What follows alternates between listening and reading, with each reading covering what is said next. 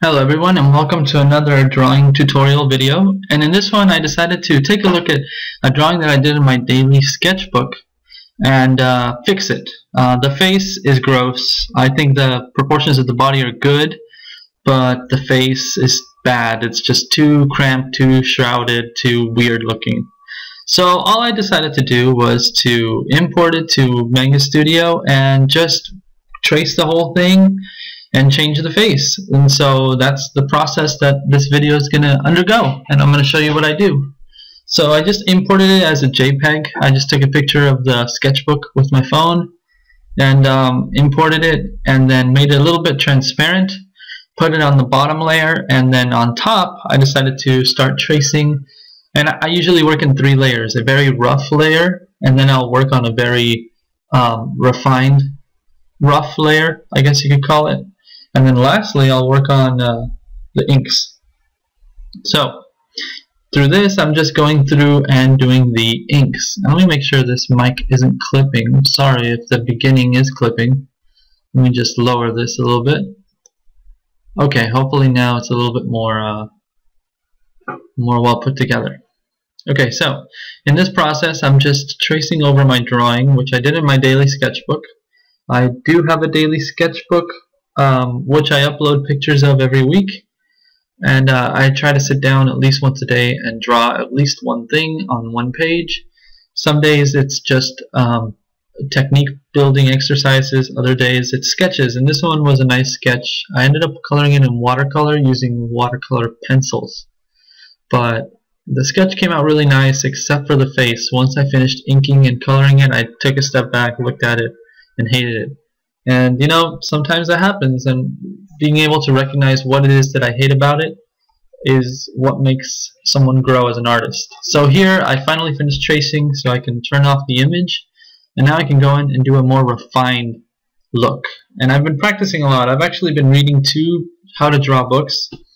Uh, one of them is a how to draw book, and I have it here called How to Draw by Scott Robertson and Thomas Bertling. And it is a really good book for industrial art and uh, industrial design. I have post-its and notes in it all over the place and has good technique building exercises in it, which is why I bought it. I also follow Scott Robertson on YouTube, which I recommend you follow him. I think it's just Scott Robertson. You just look him up.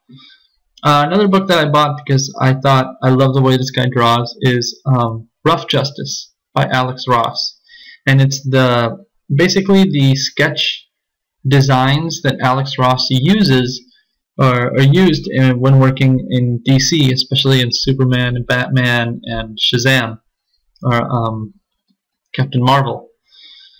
And uh, it's just a really good book. It has a lot of great art in it and a lot of really interesting things. And he does a lot of it in, in watercolor. He does a lot of it in, in pencils. And to see how he works with it is really brilliant. It really does help a lot. Um, my favorite is uh, how he can take a pose and turn it 360 degrees and draw it on on the different tangents and uh, make the proportions basically exact. I mean, there's slight differences, but you know, for drawing on pencil, it's just so exact and something that I aspire to be like one day. Obviously, not anytime soon, but you know. Another thing that I want to notice, uh, I want to note is that I've seen myself get a lot better at drawing and a lot quicker at doing good anatomy. A pose like this would have taken me a couple a couple hours to do in a sketchbook last year. But because I've been working on a sketchbook and because I've been doing a lot of daily sketches and I try to do a lot of different poses and I'm mostly working with superheroes just because that's kind of what I like to draw. But just being able to turn anatomy and do things like that is is coming along much nicer now and I can definitely see now you can see here I turned on and off the image much better I think. The the face looks much more natural much more Clark Kent Superman much less weird creepy mouse man. Um, but yeah like the doing a daily sketchbook and committing to it to, to say that I'm going to draw at least one thing a day has helped me so much. I've had my current sketchbook actually have it here. Give me a second. Okay. I've had it. I started it back in I can tell you the exact date because I put dates on everything. Uh, the 10th of December, and uh, this sketchbook has I don't know how many pages, but um, I'm going to finish it probably by the end of the week at this rate. And uh, I've drawn all kinds of things in it, and having it and sitting down and doing this for a half an hour or for one page a day. Usually I do it while I watch some TV or while I unwind at the end of the day when I come home from work, have a cup of coffee, and draw a little bit. And just having that routine and sketching every day has helped me grow so much. It's I cannot encourage you enough. Go out, buy a sketchbook. This one cost me uh, I got them at Michael's, and I got actually a set of three for ten dollars. So this was what three bucks, something like that. Um, well worth it, well worth it. And I actually bought a new one, which uh, with a little bit thicker paper because this one wasn't for. Well, I didn't start. I didn't know how to do watercolor pencils and watercolor at all, and so I started doing that with the sketchbook and just trial and error. And eventually, I picked up how to do it. And um, now that I'm doing it, I see that coloring with, with watercolor is just so much cooler. And um, so now I need to buy, I'm thinking of buying different sketchbooks with watercolor paper in them or thicker paper so that I can paint on them and it won't bleed through or wrinkle the pages. Um, but yeah, as for anything that you see on screen here, I'm working on the hair and I look at it here and it looked too bulgy on one side so I decided to bring it back, tone it down, and um, try to even it out, give him a nice clean cut look. And I'm not going to go in and add all the lines because I'll do that with the coloring. And as you can see there, I added some lines under the neck for the chin, uh, for the Adam's apple. And I'll actually go back and delete those because they stand out too much. They pop out too much and they're a little bit distracting. So I'll also add those in with the coloring. So right now this is the inking phase. So we started with the blue layer which was very rough and then the red layer became a lot more cleaned. And now the inking phase I'm taking a lot more time, doing things a lot you know, a lot smoother, making sure they look fluid. I try to use longer lines, use my draw from my arm and not from my wrist, which is something that I used to do. Um, and that gives the overall sketch a much nicer feel. So at this point I went in, I added a contour around everything, as you can see there. But just to make the character pop out a little bit, make the overlapping areas, like the crossed arms, look like they're in front of the actual image. So in doing this, it really genuinely helped very much in getting everything situated and put together. And uh, it gives the the overall the overall image a good pop. So it's a good thing to do. It's a good thing to practice. It's a good thing to do often. I highly, highly encourage it. And now for the last bit here, um, we're getting into the point where I'm going to start coloring. And so for this, I decided to pick some colors. And uh, here you can see me going in. And before the coloring, I like to do the shadow. Sometimes I do coloring then shadow, and sometimes shadow then coloring. I decided to do a hard light from the left, uh, from the left side of the screen. So I'm going to give it a very thick black shadow all along one side. And so that's what this blue is. I draw it in blue so I can see where I need to go over to make sure I don't have any white bleeding through. Um, that's what you're seeing here.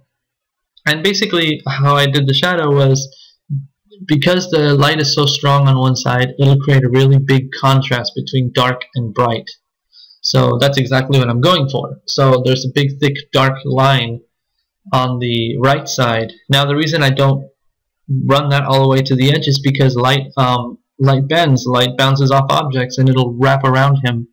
So you'll get some light bleeding through the the other side and that's what that's how you see here. And again, all I'm doing is drawing these shapes and then I'm going to fill them in with the fill tool. Eventually I'll switch over and I'll do it using the lasso tool where I can just lasso the shapes that I want and fill them.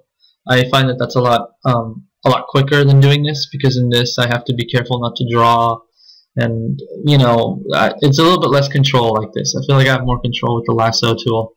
But either way that works for you is a good way. And again I just I like to have some reflective you know some reflective light. As you can see there it the the light on his torso uh, isn't showing. So once I notice that I erase it out. I want to be able to show some light there um, and show that this figure it, it makes the figure pop out and look more dimensional and less flat. And that's so important. I cannot stress how important that is. So as you can see on the neck I erased the black lines under the chin and then replaced it with a deep shadow. And uh, I, another thing that I noticed is a lot of people don't like to shade the face. I find that shading the face can add really cool um, depth to it. Like uh, I like to shade under the eye and in the bridge to the nose because it makes it look like there's a deep uh, a depth to the eye socket and that's really important and really realistic. So that's another thing. And uh, on a side note I've been drawing a lot of Superman. I I love Batman. I love he's my guy but I am having such a hard time drawing a Batman that I'm happy with. And I, will I'll post some some pictures of my daily sketches of Batman. Um, but I'm just not not having a good time drawing drawing Batman. It's just very tough for me. Superman seems more natural for some reason. Not sure why, but yeah, that's just the way it goes. And um, so there you go. That's the completed shadow. Uh, now I'm going to go in with the lasso tool. Just make some squiggles in the hair, and that's going to be where the the deep of the shadow is. And again, it's on the right side because the light is hard on the left. So all the right angles are all the things that are pointing to the right will have that that deep shadow. Um, hopefully that makes sense. Hopefully it's not confusing or or obscure to anybody to notice why I'm doing that. So you can see that on the left side there's very little shadows. On the right side we have very strong deep shadows. And um, that's really important. Really important to keep that consistent to give the image the realistic look. If not, you break reality, people will be able to tell that it's a drawing. And again, here it is in black, and I'm just going to tone it down a little bit, bring the opacity down, um, and I'll bring it down a little bit more once I add the color. So now we're going to move on to colors. I picked a stock blue, and then I just upped the the hue and lowered the saturation a bit, so I get a little bit of a deeper blue, but not as bright or as um, artificial, I, I, I guess. So now I'm just going to go in and lay the thick colors, and I'm not going to spend too much time going into details on this. It's just, you know, filling in the blanks wherever a color is bleeding through. I'm just going to go back and, you know, make sure that I can fix where it's bleeding. I don't want that bleeding to happen. It would suck. Um, and this is a very basic thing. I just fill in the, the flat colors. I don't do highlights. I go around, fill in all the blues, all the reds, all the yellows, all the skin tones, all the hair tones. And then I'll go back and add a, a lighter color highlight. And I only do a darker highlight on the hair, I think. Yes, I think that's correct. Now the reason I do this is because, well, I want the hair to have more pop, but also Superman doesn't have brown hair. He has black hair. And so I want it to be shown that Superman's hair is actually dark and black and not just uh, a hue of brown. So that's why I go back and add a lot of dark colors to the hair later. So now we've done our blues here. And you can see it's a kind of matte blue. It's not too shiny, not too crazy. And yes, I do color his eyes blue. Some comics it's blue, other comics it's black. Not sure why. Uh, I'm going to color it blue and then I'm going to go back and darken it. So it's not a big deal. Now this blue might seem very powerful, very um, bright, but that's because it's contrasting to the white background. Once we add in all our colors and add in a background, everything will be much more, um, will, will flow much smoother.